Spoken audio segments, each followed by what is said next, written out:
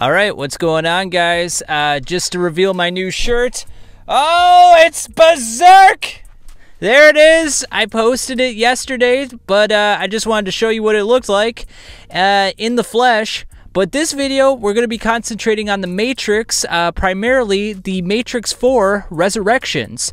Now, a trailer released on September 9th, and I just kind of wanted to look over some of the images and kind of give you my overall thoughts of what I think of it so far, and whether or not I'm optimistic or slightly down in the dumps. But uh, let's take a look at some of these images. Now, the first one we see here is like a cityscape, and it's overly colored, overly CGI'd. Um, now, I believe this is probably done intentionally, trying to make it look like the Matrix has improved, has sort of changed its dynamic, if you will, because back in the early 2000s, everything was so cyberpunk and so dark and gritty, so the Matrix kind of catered to that. But now people are more into expressing themselves, being more colorful, vibrant. So I feel like the Matrix is sort of catering to that.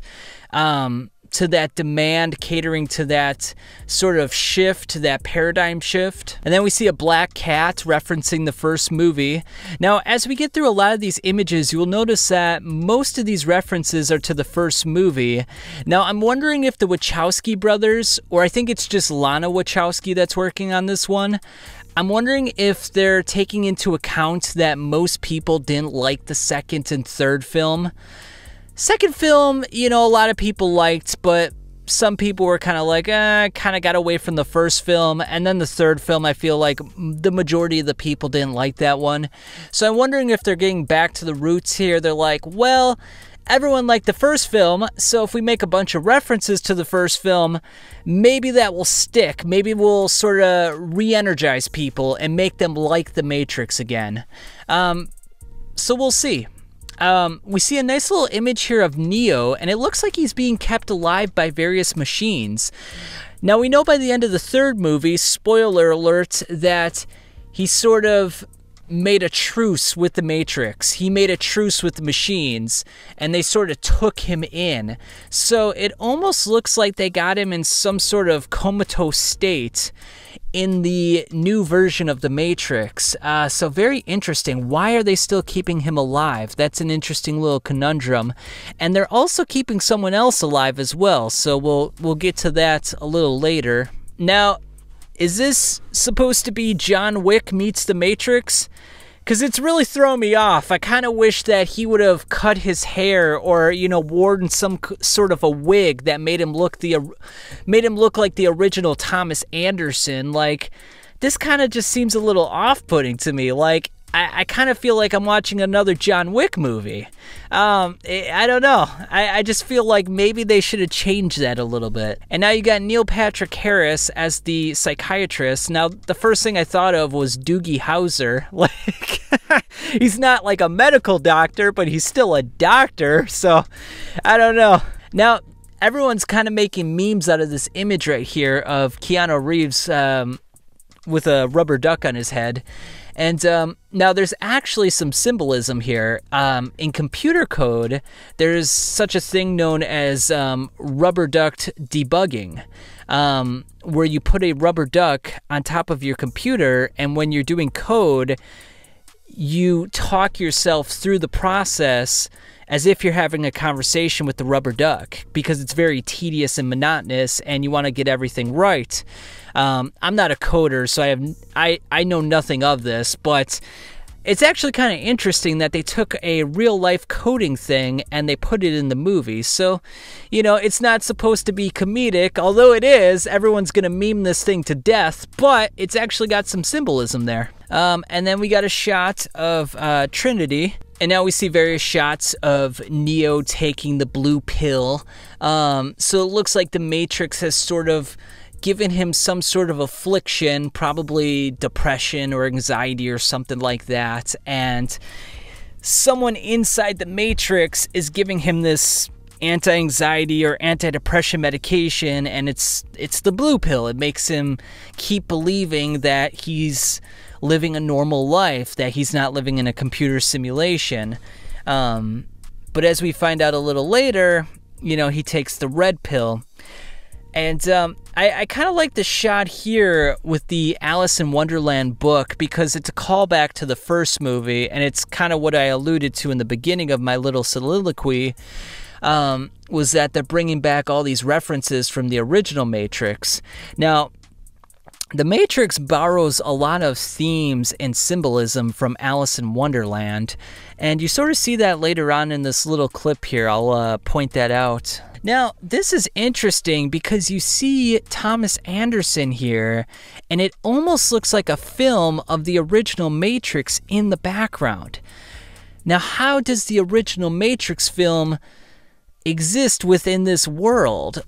Or, you know, is this supposed to be like a meta reference to the fact that, like, stuff that we created in previous lives, previous world, they exist within the new worlds but we don't recognize it? Like there's there's always been this like theory out there like that we live in like a parallel universe. Like some people believe that Nelson Mandela died in the past. Some people think that he's still alive. And then there's like other like references out there where like people misremember things and are like, oh my God, it's the Matrix. And some of us remember and some of us don't. So I don't know if it's a play on that or, well, you know, I'm sure the movie will explain it in some fashion. And then uh, Neo looks like he's taking the red pill here from the new Morpheus. Um, and he is the new Morpheus um, on IMDb. It does say that he is Morpheus. Now, this actor doesn't have a lot of acclaim to his name. I'm sorry to say it, but he just doesn't.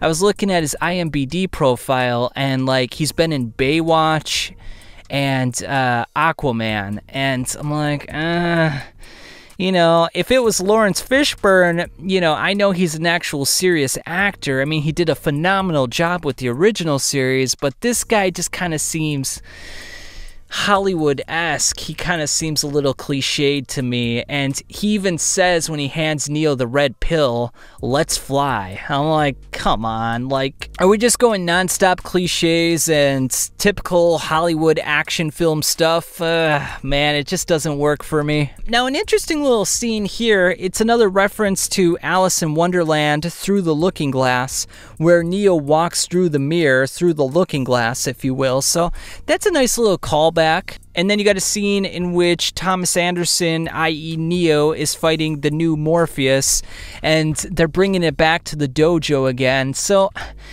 I don't know if Lana Wachowski is just thinking, like, if I just give you guys a movie in which I recall everything from the first film, are you guys going to like it? Like, are you going to like the fact that it's going to have a new CGI look? It's going to be cleaner, crisper, and I'm going to throw some references in there. Like, I, I, I don't know, but it just kind of gives me the vibe that it's a money grab and it's not going to do anything new or innovative. So, I, I don't know. I mean, I was reading an interview that they showed the film to Keanu Reeves, and he was impressed by it. Like, he actually really liked it. So, I don't know. I, I mean, I guess I'll hold judgment until I actually see it for myself. But um, I don't. I, I'm just not getting inspired. I, I'm not. I, am not feeling that same Matrix vibe. It, it it just feels off to me. And then you got a scene here where it looks like one of the agents has got a gun to Thomas Anderson. it's a callback to the situation in which Mr. Smith was interrogating Morpheus in the original movie,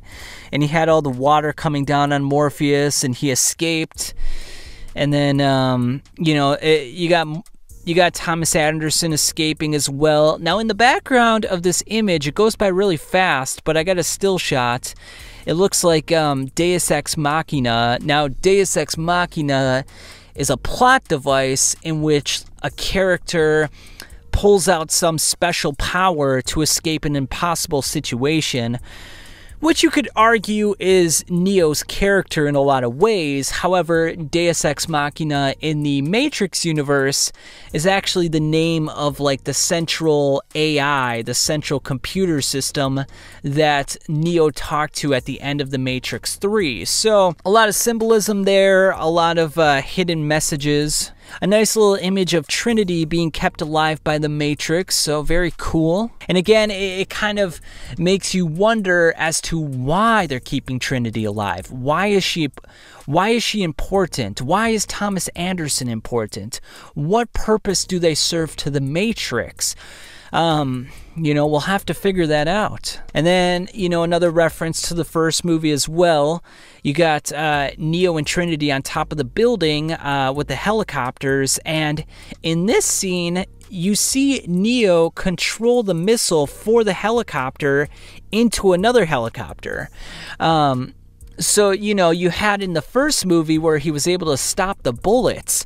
Well, in this one, he's able to control a missile. So, it looks like he's retained some of his powers and um, he can still manipulate the Matrix in very profound ways. And at the end of this, too, him and Trinity are jumping off of a building. Now, in the original Matrix, he had to believe.